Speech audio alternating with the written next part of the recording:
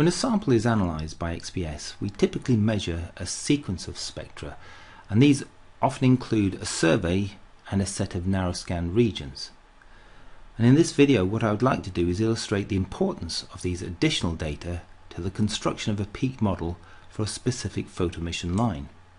In this case, we're going to look at the molybdenum 3D and fit these data with a set of components that require the use of additional information in order to extract useful information about the amount of molybdenum and these other elements within this sample.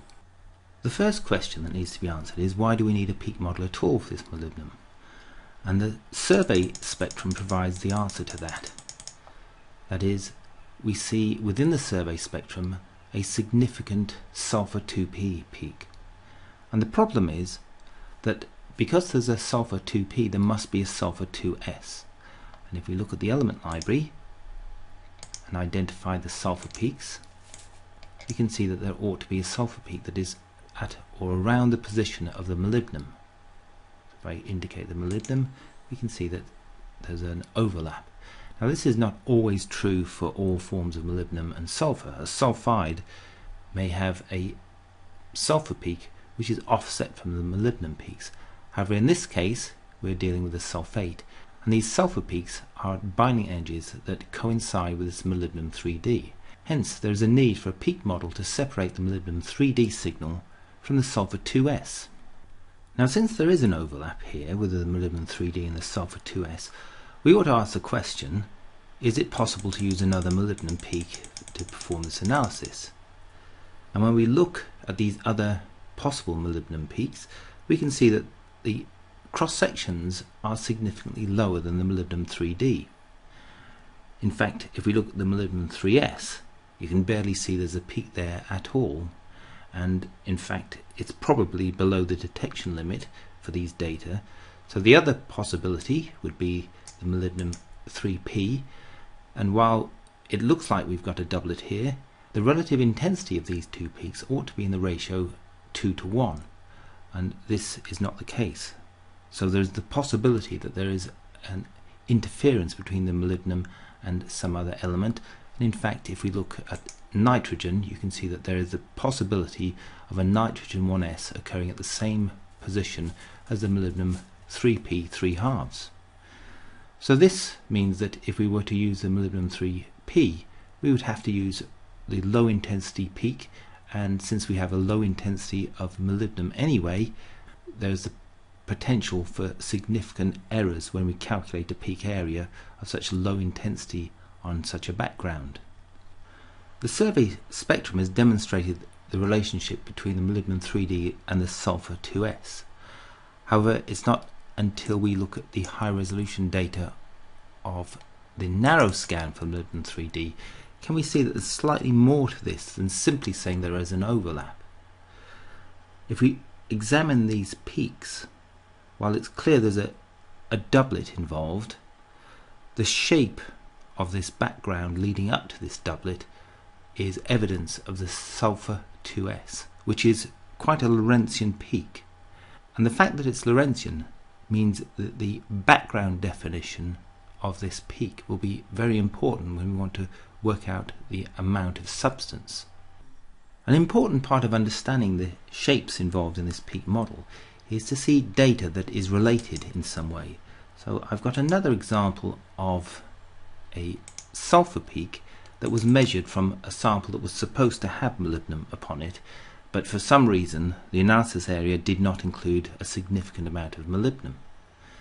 And here is an example of a sulfur 2s that presumably is also a sulfate and when we look at this sulfur peak it turns out to have a Lorentzian form that's indicated by an LA 1,66 this is a, a, distinctly Lorentzian shape that is fitting these data.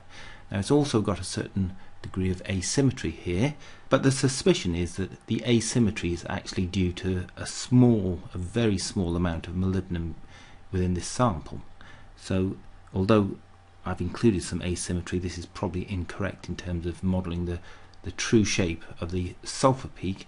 But we can take from this analysis that at the very least, even a deformed sulfur 2s peak by virtue of a small amount of molybdenum will have a very strong Lorentzian tail.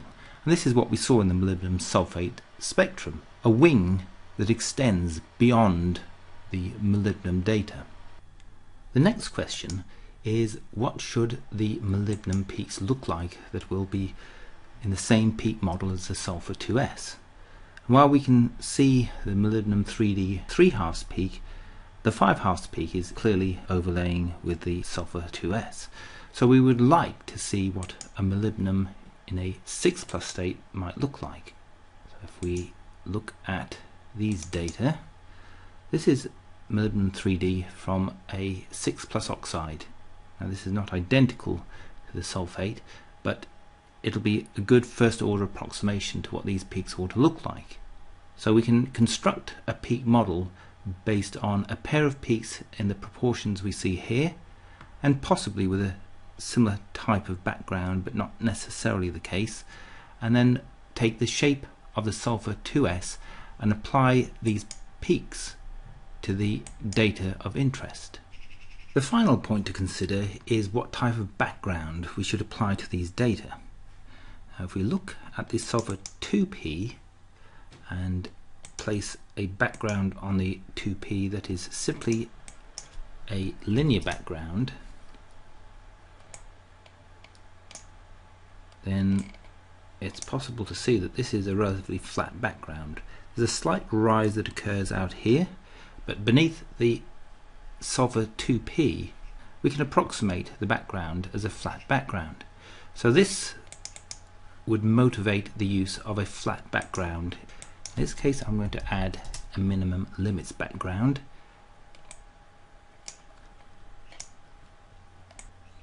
and arrange for these limits so that we fit the data close to the peak.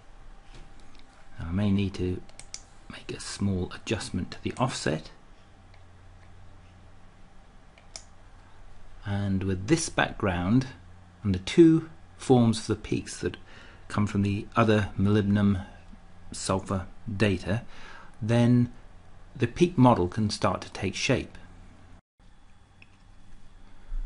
We can now gather the peak models from these other data and the first one I'll do is the molybdenum trioxide. So I'm going to copy all of these components and then returning to the data of interest I can say paste replace. So these have now come in with the energy calibration that was in the previous file and obviously there's a difference here they have not been calibrated so the fact that the peaks are in a different position is not a surprise. That's a consequence of charge compensation. But what I'd like to do is shift these peaks beneath the data. And one of the ways of doing this is to lock all these components together. Now they have different component indices, so I'm going to say lock all, and then this will create a lock between each one of these components in terms of a, an offset in energy. And that'll be independent of the component index which would have been used if I just entered lock. So now that I've locked these components, they've been locked to this controlling component here in terms of position. I can now slide these data and position them appropriately according to this spectrum. Now before pressing fit what I need to do is create another component. And this component will be the sulfur 2s and I need this to have a line shape that is similar to the one that I saw in the other data. That was an LA1, comma 66 line shape a very Lorentzian line shape. So I'm going to press return on that and I will assign a different component index so we can see the three different components that represent photo emission the components with minus one, these are background components. So I'm now ready to say fit. So I'll use a chi-square rather than a root mean square and fit. So I end up with a peak model that fits these data with a residual standard deviation that looks plausible and we have a set of component peaks reproducing the data a small background associated with the molybdenum. This may or may not be correct, but there is certainly a step in the background from the right hand side to the left hand side. So there's some sort of adjustment to the background beneath these peaks, and we're assuming that this is coming from the molybdenum. We can now display the results from this peak model using the quantification option. And the reason that I'm using the quantification option on the annotation dialog window is because I want to do a comparison of this sulfur 2s with signal from the sulfur 2p. And I can do this if I use a table that is based on both, meaning both components and regions. So if I press apply, I see the start of a table, and the reason it's the start of a table is because it's based on the selection that we see in the right hand side. So when I make a selection of the sulfur 2p as well, because I'd created a region on that, I also obtain a measure for the amount of sulfur based on a region from the sulfur 2p. If I deselect the first one, you can see we just see the sulfur 2p. So we have to have both selected in order to see the table. And what we would like to see, if we've created a peak model that is representative of the material, is that the amount of sulfur would be the same between both the sulfur 2s and the sulfur 2p. So as it stands, it would appear that the sulfur 2s component has a greater area than the area calculated from the sulfur 2p. Now I'm assuming that the corrections are appropriate for this type of sample to allow a comparison between these two photoemission peaks, so the right RSFs, the right escape depth, and the right transmission function. A comparison of this form is useful for working out whether the peak model is providing a meaningful result for these data. And it would seem that the sulfur 2s as part of this peak model is too large an area that when quantified and compared against the sulfur 2p is producing a disparity that perhaps we need to address. Now one of the things that we could do is rather than using a Lorentzian that is consistent with the data that was previously used to fit the sulfur 2s, we could change this and increase the Gaussian contribution. And as a result of in introducing more of a Gaussian in the Voigt function, then the area of this peak will change. As you can see, the residual has altered. And when I say fit, we end up with a change in the residual, and we also end up with a change in the area. And this is because a Voigt function that is Lorentzian is pushing signal at quite a distance from the peak maximum compared to a Voigt function that has a, a greater Gaussian contribution. So when we quantify data, we have to make sure that we've chosen the right shapes and indeed the right intervals over which to integrate signal in order to do a comparison between, in this case, sulfur 2s and sulfur 2p. Now there's a margin of error here which is certainly within bounds of what you would expect for quantification by XPS. So at this point we might feel more comfortable that the peak model is more representative of the relationship between molybdenum and the sulfur. Comparing the sulfur 2s to the sulfur 2p is an important part of gaining confidence in the peak model. But equally the relationship for these two component peaks were determined by the molybdenum based on a fit to molybdenum trioxide. And if we look at the table of components, we can see that the two component peaks that are the photoemission from molybdenum 3D are constrained by the area, the full half maximum, and the position. So while there are two peaks here, there are actually only three fitting parameters that are available when the fit button was pressed. So these two and the relationship of this 3 halves peak to the 5 halves peak is one of the factors that has determined where the sulfur 2s component ultimately resides in terms of optimization. Another test against other data would certainly be an advantage. This same peak model has been applied here to another set of spectra that were measured from a different type of molybdenum sample. It's a molybdenum sample that also has a sulfur content. And so a suitable fit has been performed to these data and produced results that are comparable to what was obtained for the molybdenum sulfate.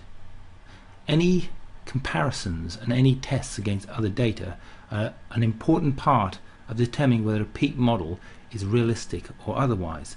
As you can see, the line shapes can alter the relationship between peaks. So if we're comparing the amount of molybdenum to the amount of sulfur, it's really important to obtain a line shape that is appropriate for not just the one spectrum, but for similar spectra.